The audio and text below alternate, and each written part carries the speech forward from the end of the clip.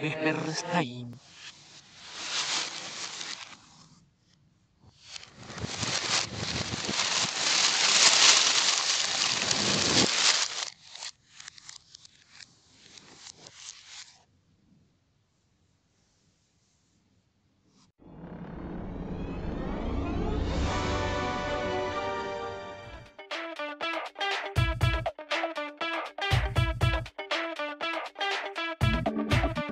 Time to harvest my chilies and prune the plants in preparation for winter.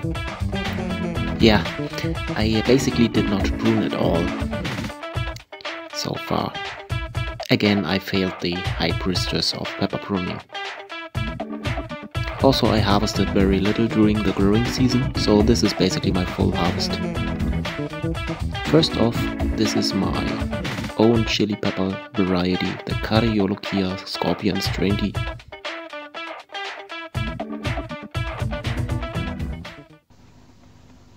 Mm, sadly, still lots of flowers.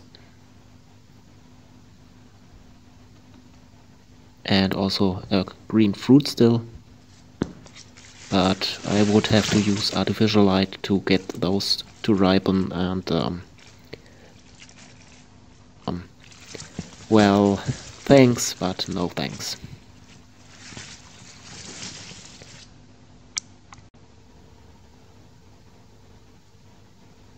This fruit is the result of a pollination with a Carolina Reaper. It still needs some time to ripen properly. And check out the stem. It's thick.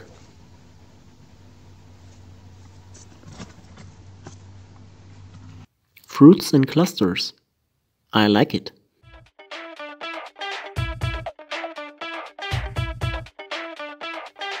I am trying to achieve a small fruited super hot variety that does not taste like habanero. Because I'm not uh, really fond of this kind of soapy taste. I like it more fruity.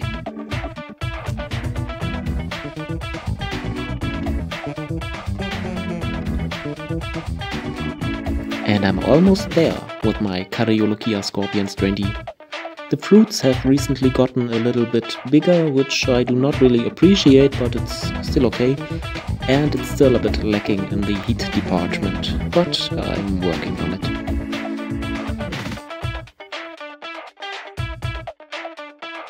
Right now I'm trying to mix in a little bit of the Carolina Reaper, which would probably result in the Cariolokia Screeper.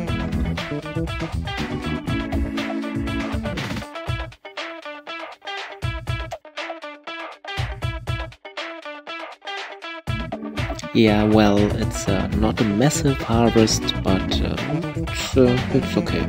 It's um, considering I did not prune at all and things like that. It's okay. So, yay, top harvest. Or maybe more like, yeah.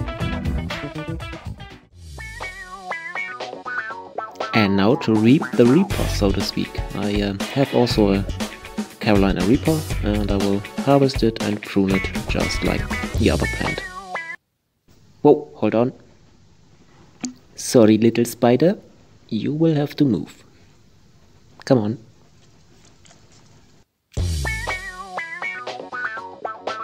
And a final chop, chop, chop.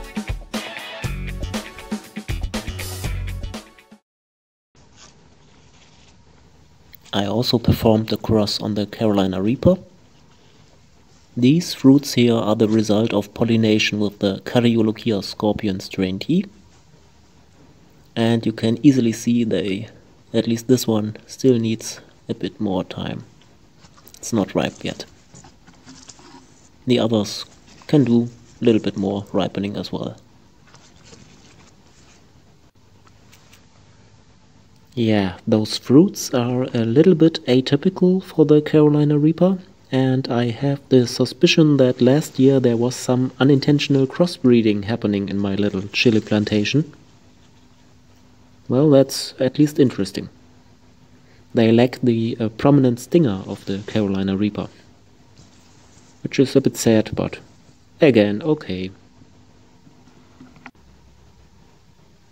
This one dropped off early, I forgot it.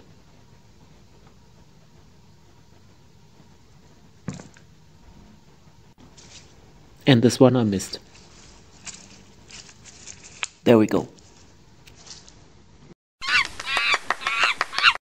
So this is my amazing harvest.